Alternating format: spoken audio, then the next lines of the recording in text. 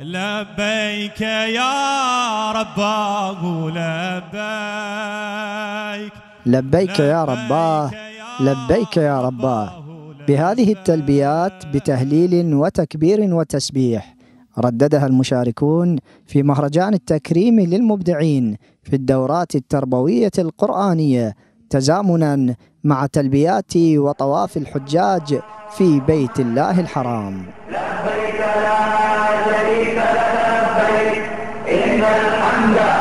بيوت ترفع ويذكر فيها اسمه لتكون منطلقا واساسا للتوحيد الخالص بعيدا عن مظاهر الشرك والتجسيم والتطرف والتكفير والالحاد لتشيع ثقافة المحبة والتسامح والاعتدال والسلام.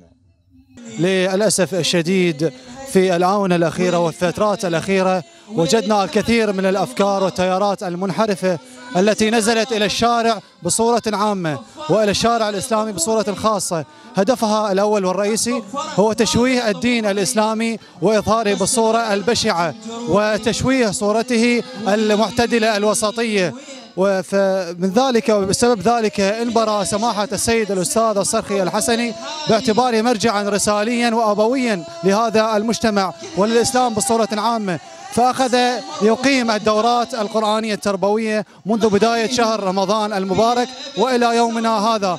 فأقيم العديد من الدورات التربوية يتضمنها المجالس التوعوية التربوية التي تحذر من هذه الأفكار التي تحذر من هذه التيارات ويدعو إلى الرجوع إلى خط الإسلام المعتدل الخط الرسالي الأصيل لكي نعيش بسلام وكي نتحافي ما بيننا ندعو إلى وحدة الأديان الباقية على الحب والتسامح والوفاء. أفتخر في هذا التكريم والحضور والمشاركة في في الدورات القرآنية.